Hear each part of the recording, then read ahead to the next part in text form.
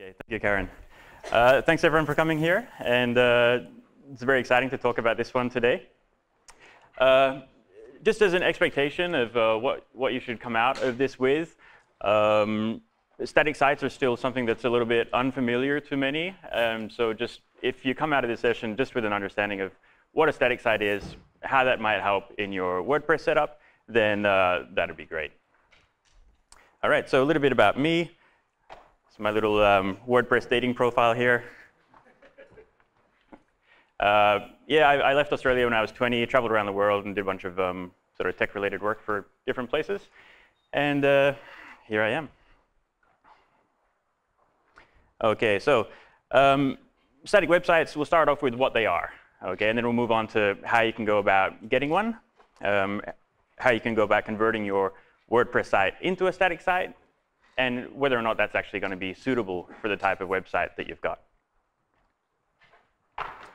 OK, so if you look at a static site and you look at a dynamic site, this is part of the what are they, um, you shouldn't really notice any difference when you're looking at it as a user. Visually, there's no difference. And again, looking at the code, no difference at all. So it's still a bit mysterious now. So what is, what is, what is a static site? What is the difference? All right, here's a little hint. If you've ever been to a, uh, a project hosted on uh, GitHub, and the URL is something.github.io, then you're looking at a static site there. But the real, the real guts of it, the real difference between a static site and a dynamic site is static site is pre-generated. And we'll look at WordPress as an example here. So when you've got uh, your WordPress site and you create a post in your WordPress dashboard, that post content is living in the database. You've got a database. You may not be aware that you've even got a database. You just log into your WordPress and you add a post, and your user visits your site and they see that. But what's going on behind the scenes is that they, they go to your page, and it's making a request to your server and pulling this, this content out of your database. And all that takes not lots of time, but enough time that it can be a problem for a heavily viewed site or a site that's got some performance issues because you've got lots of plugins and things running. Now, with a static site, you're getting rid of all that, all that time. There's, there's no time going and fetching different pieces of content from the server and doing other tasks in the background. As soon as a user goes to your page, boom, they've got the whole, the whole content right in front of them. Uh, in doing so, it uses very minimal resources. If you're hosting a static site and you get some media attention or you get linked to on front page of Reddit or something like that, uh, your site's not going to break a sweat. As opposed to if you've got a, a WordPress site and you haven't um, sort of planned for massive traffic and put it through tests, you can find yourself with a site that's offline. And it happened to a, a a friend of mine running a charity last week. Um, they got media exposure in the UK, got some uh, television coverage, and their site's down. And that's the worst time because you've got all these people, you've got the media attention, and they're coming to a blank page. Um, there's lots of ways you can you can mitigate that just within WordPress itself. Uh, most people that have been using WordPress for a while uh, use some some caching plugins, some things that will help with uh, handling handling traffic. Another advantage with a static site um, is you can, you can use that offline. So if you're a designer and you're building your WordPress site and you want to hand that to a, a client for approval or preview, you can put it on a USB stick, CD, if you still use CDs, hand it to them, and, uh, and they can test the site out. You don't have to worry about um, you know, whether the site's still online and what sort of version they're going to see. You take a snapshot, give it to them, and they can approve that. With, uh, with I'm going to talk a bit later about a, a, product that I make that allows you to take your WordPress site and turn it into a static site. And uh, one, of, one of my main customer groups are people that are worried about security, security of their WordPress site. And again, there's lots of ways you can mitigate security when you're running a WordPress site. Uh, but for a lot of people, if you're a digital agency, you might, you might have hundreds of sites, but you still don't have the resources to hire a full-time, you know, um, security expert for your company.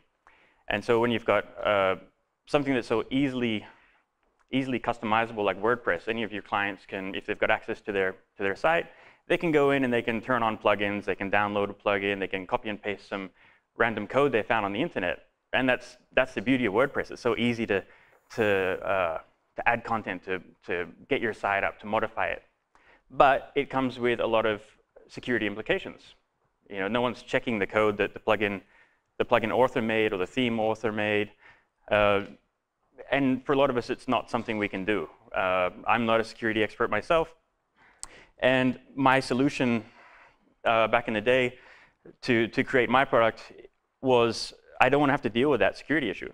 So if I can take my WordPress content, keep it as it is, the beauty of, of rapid development, but then get rid of this whole security concern of hosting a WordPress site by taking it static, then that's great. And that's what I did.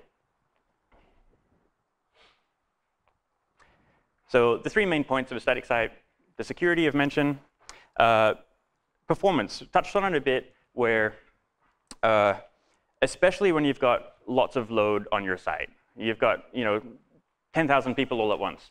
Uh, you can you can test your current website, your WordPress website. You can go to some online uh, load testing tools that will simulate what it's going to be like when 100 people or 1,000 people or 10,000 people all visit your site at once. And you may be interested to find uh, how quickly it, it will fail, or it will start getting slower and slower to respond to each request. So the page is going to load slower, uh, and we all know that um, slow page loads do not make for happy users. Once, you're, once you've got a static site, you can, you can throw crazy amounts of traffic at it, and it, again, you won't break a sweat. Uh, the last thing that I really like uh, one of my passions is, is open source, low resource computing, uh, you know, of like enabling, uh, enabling people that may not be uh, as fortunate to have the luxuries you have in Australia, um, or even if you're in Australia, not everyone has the money to, uh, to spend on hosting, to spend on latest computers, all these sort of things. And static sites are really, really great in enabling you to, to I don't know, I guess you can have your, you can have your really nice looking site that you built with WordPress and you put all your features into it, uh, but you don't need to pay for hosting at all. There are lots of really good sites, uh, hosting providers out there at the moment where you can put a static representation of your website and host it for free, um, and with some extra benefits as well.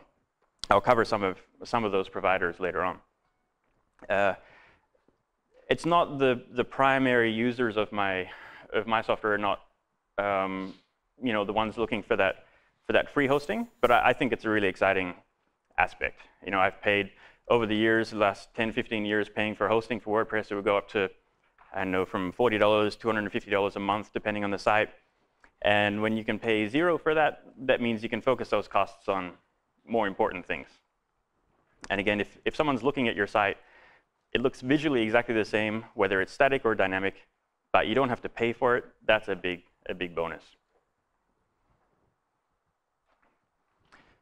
Uh, just to reiterate, security-wise, uh, if you're hosting your site statically, you're not worried about your database credentials, you're not worried about your file permissions, uh, and you're not worried about any vulnerabilities in plugins or, or anything like that. About the only thing you have to worry about is your main username and password for wherever you're hosting your site.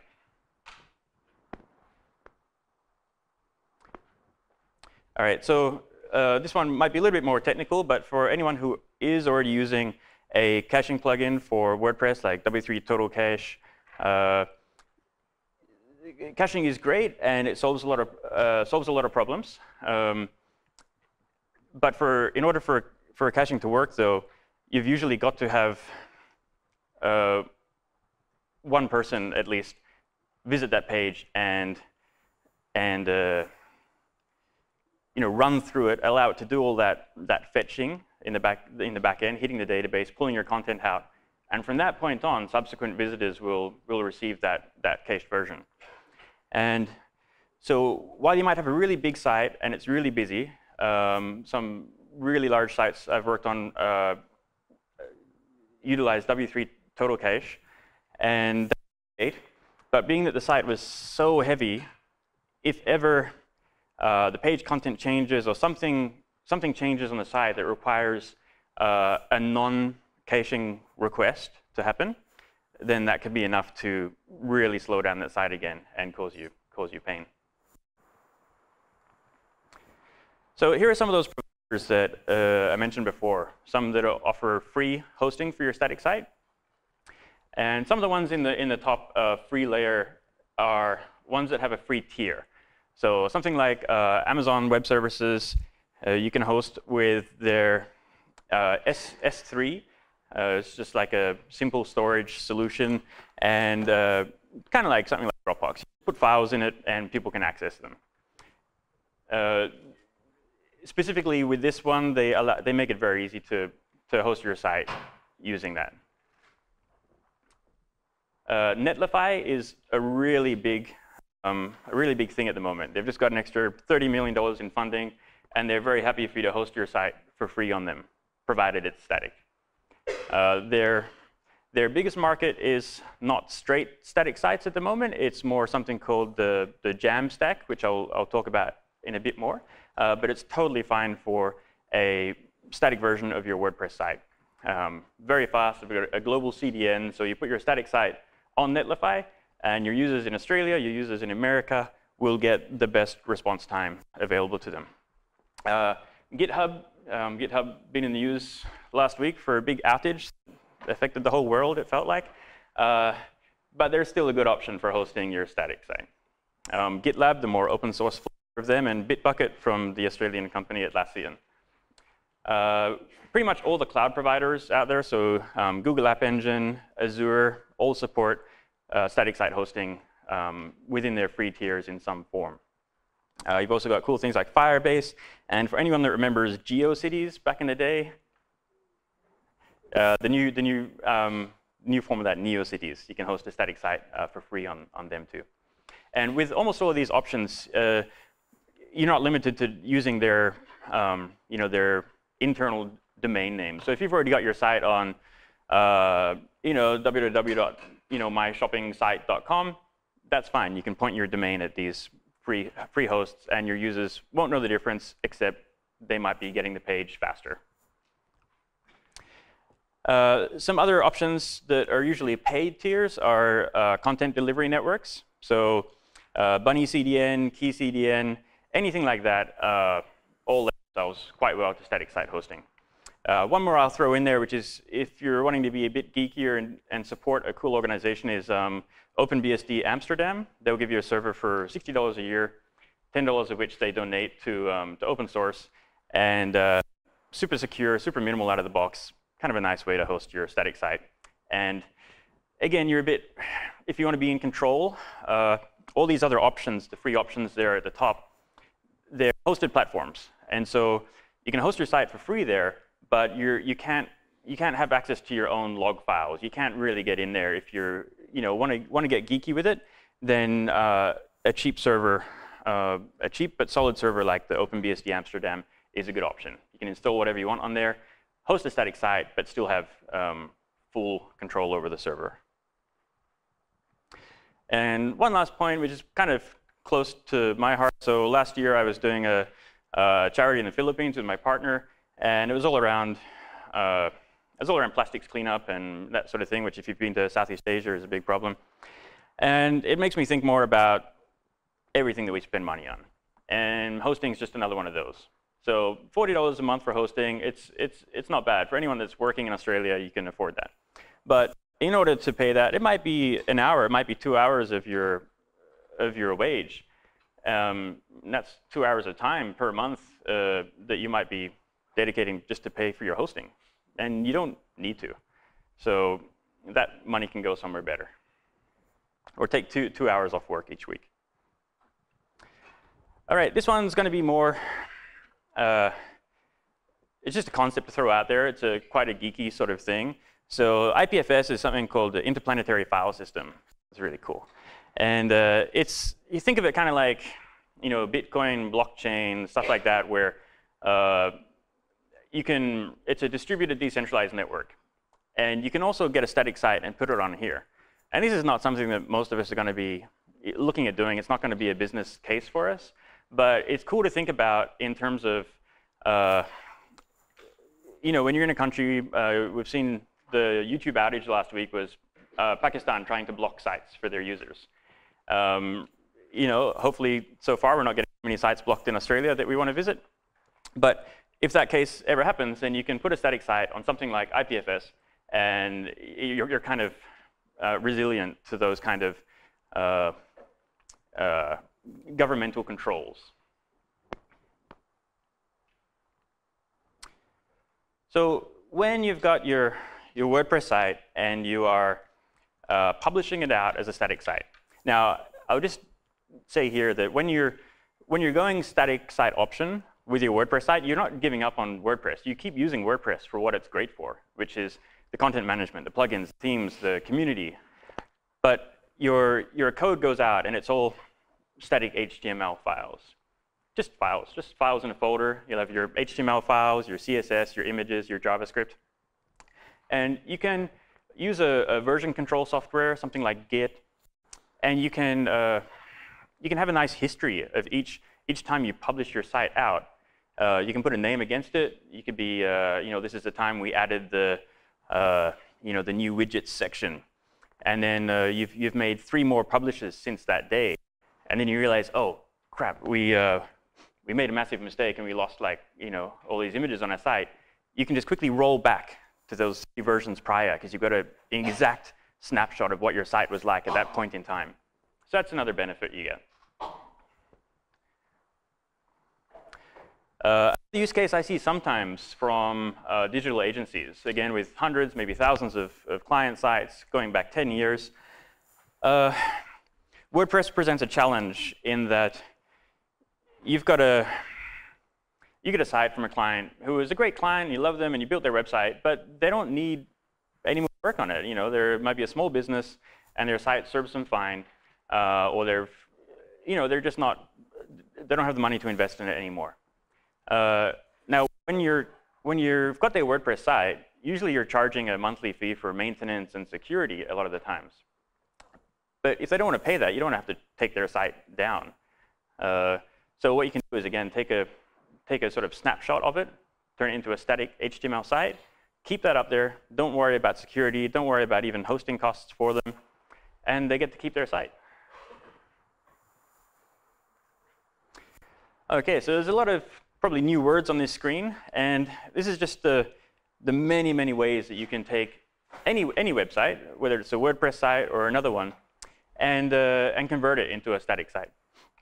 So the first two, wget and httrack, are um, kind of built-in, uh, either built-in or easily installable tools for a lot of operating systems.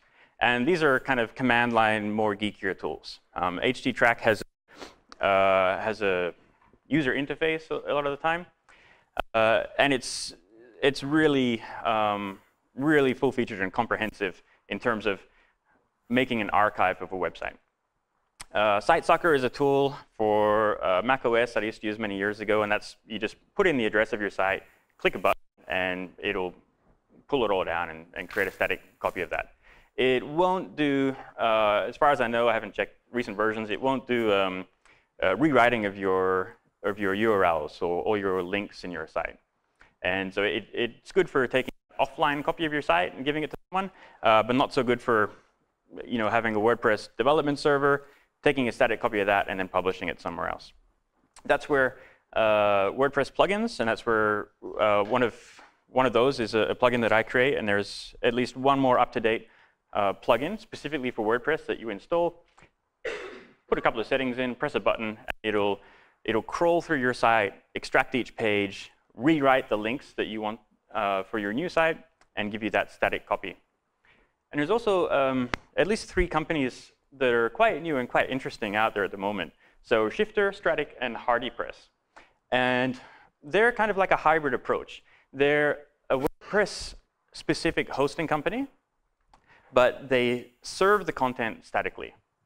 So you log in and you, you manage your site through them like you would any WordPress site. Uh, but behind the scenes, they're, they're making a static copy of it to serve. And they address some of the issues automatically that you would otherwise have to manually uh, work around taking a WordPress site to a static site. Uh, yeah, really quite interesting. Um, so uh, a bit more secure in that sense.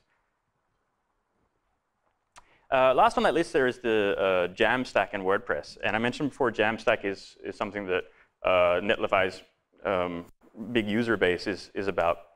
And the, the Jamstack, here we go. Uh, Jamstack stands for JavaScript APIs and Markup.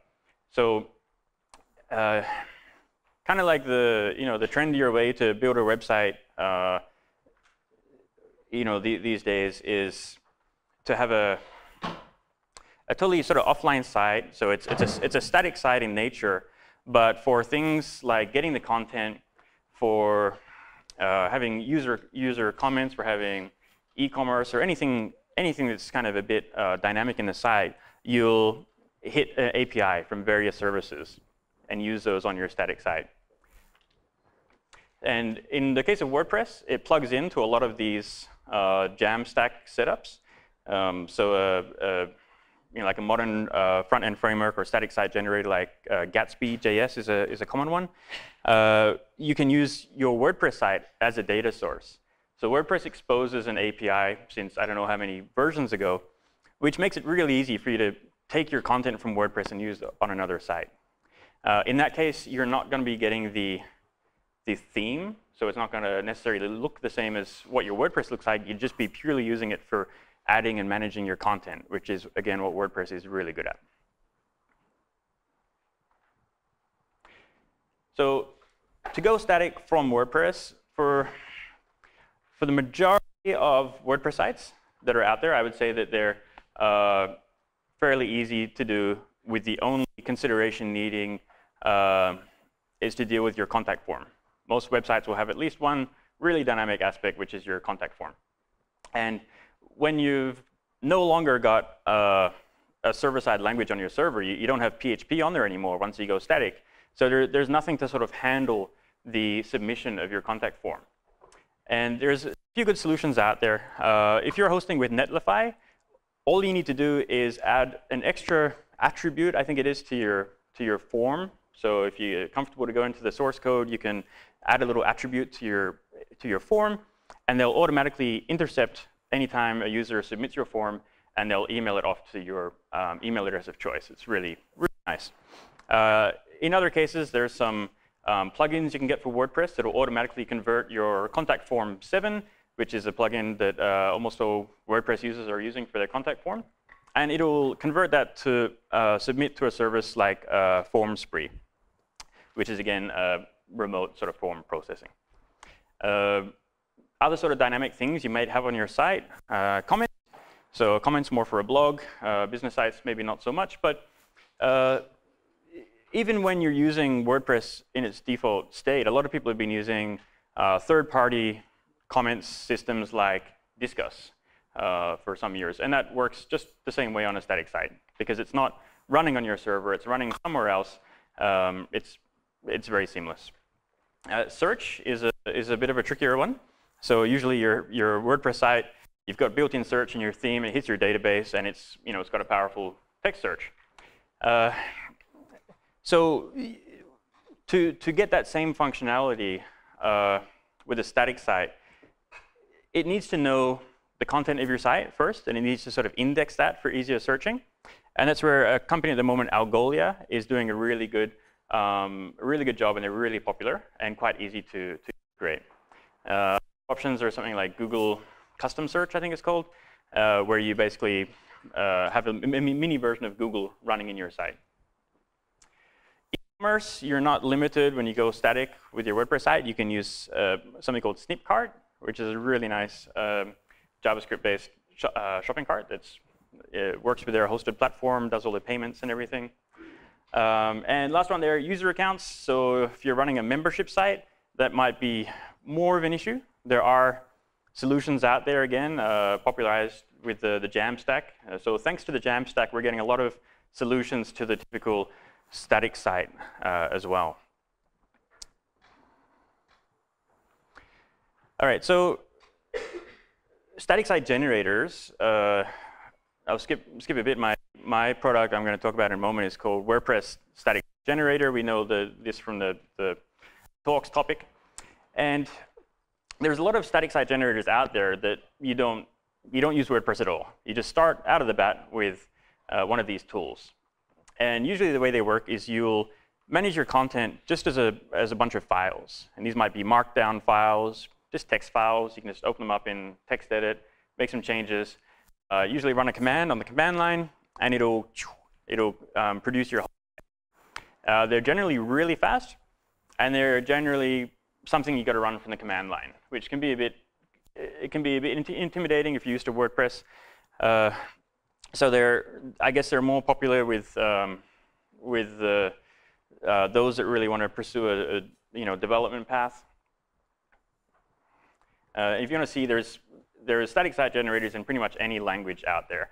So if you like PHP, if you like Ruby, if you like Python, uh, there's one out there that'll do the job, and they're getting better and better. And you can go to staticgen.com there and uh, see which ones are the most popular. Why we don't use them? Again, uh, it might be that that that uh, that was fear, or just you just don't want to have to deal with the command line, which is uh, understandable. Um, that can be a, a, big turnoff for using a static generator. WordPress is still brilliant at what it does. It's what is it, 30 something percent of the web powered by WordPress. It's not, you know, it's not just some random chance that people installed it. It works. It works great. It's great for content. Uh, and the plugin ecosystem, this community, really good. Uh, ease of collaboration, meaning if you're a distributed team or you're outsourcing some work, you got content writers uh, all over the globe, it's very easy to just give them a, uh, an invite to your WordPress site. They can come in, they can have their different user levels, you can have editors, publishers, and such. And when you've got a static site generator, you're dealing with those, uh, you know, those files on a folder, which if you want to start sharing those around, then you're looking at putting those under version control, sending like a link to GitHub to your designer to update some text, and uh, it's not as easy. Uh, the static site generators out of the box, they're they're quite good. They've got their um, their ways. You know, you put your content in this folder, your text files, you put your theme over here, uh, run a command, generates it, and they're all designed to do that really well out of the box. But it gets tricky once you want to start doing customizations. The kind of things that in WordPress you might just install a plugin. You want to show a, a list of the I don't know the top the top 10 posts, but you want to filter out a certain category. That's fairly easy to do now in WordPress. But with a static site generator, that could be fairly easy to it could be like, you know, a lot of customization to get it working.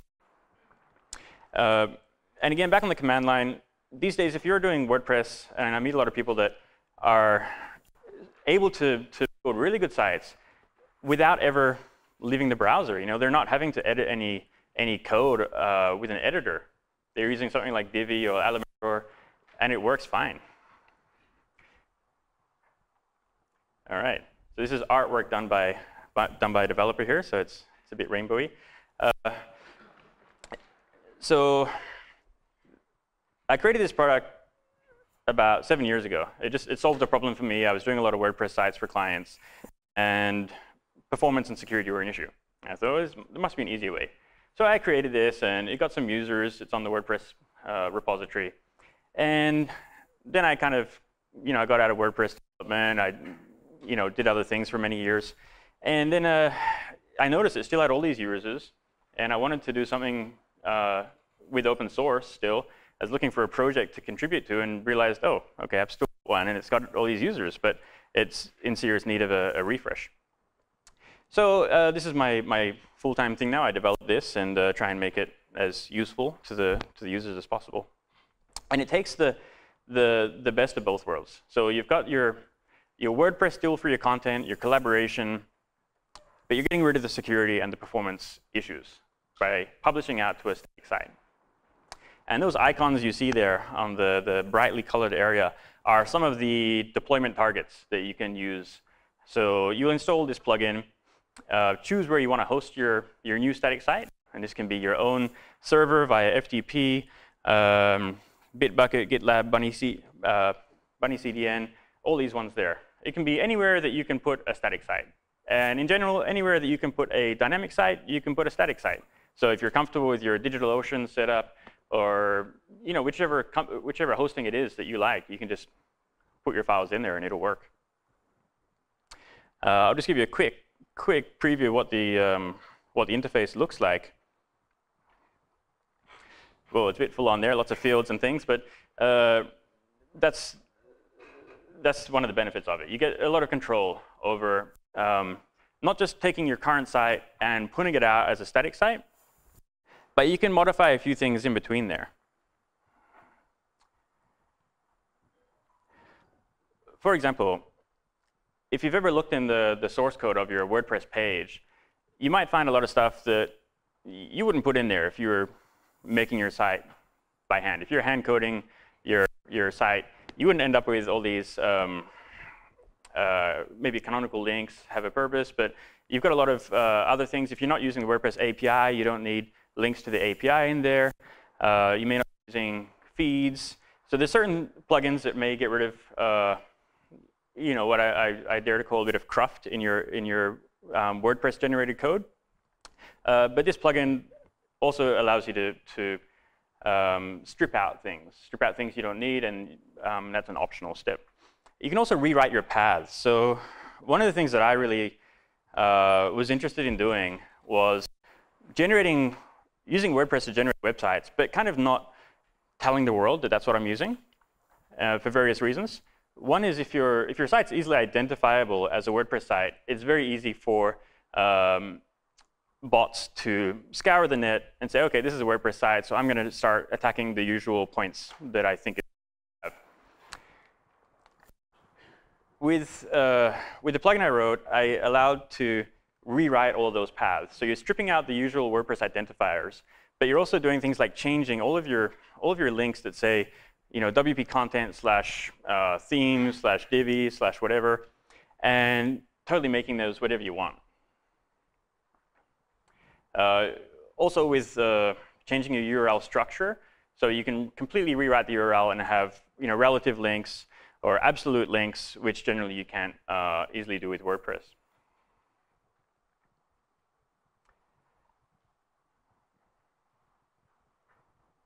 And on that, one, one more example there is uh, for that squeezing that extra ounce of performance out.